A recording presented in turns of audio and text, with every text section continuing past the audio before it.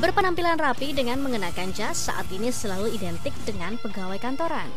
Namun ternyata ada juga yang mengenakan jas sebagai kostum untuk berdagang. Ini seperti yang dilakukan pedagang bakso di kota Semarang, Jawa Tengah. Adalah Suparjo, Ahmad Dwi Nugroho, dan Yudi Pratama kelompok pedagang bakso yang setiap harinya mengenakan jas lengkap dengan dasinya sebagai kostum untuk berdagang bakso keliling. Namun baru setahun ini mereka mengubah penampilan dengan memakai jas saat berjualan. Ini dipilih agar mereka mudah dikenali oleh pembeli. Meski awalnya terasa aneh, namun karena dorongan untuk maju dan berkembang, dirinya mulai membiasakan diri berpakaian rapi.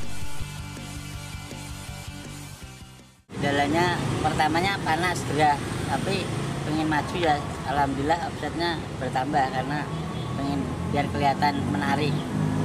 Jadi ya biar menarik lah ini.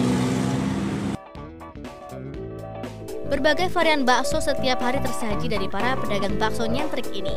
Dengan harga cukup terjangkau yakni Rp8.000 untuk porsi biasa dan Rp10.000 untuk semangkok bakso porsi jumbo. Selain penampilannya yang unik, sikap ramah dari penjual pun menjadikan daya tarik tersendiri bagi pembeli. Pak penjual bakso ini um, cukup menarik sih, soalnya kan uh, jarang ditemuin juga, terus menjadi daya tarik sendiri. Uh, menurut saya menarik banget sih. Soalnya ini kan kayak aku juga baru pertama kali lihat uh, yang konsep kayak gini abangnya kayak gini tuh.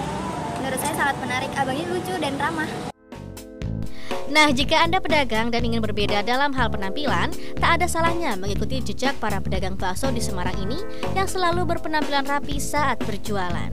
Dari Semarang, Jawa Tengah, Suryo Wicaksono, Kantor Berita Antara mewartakan.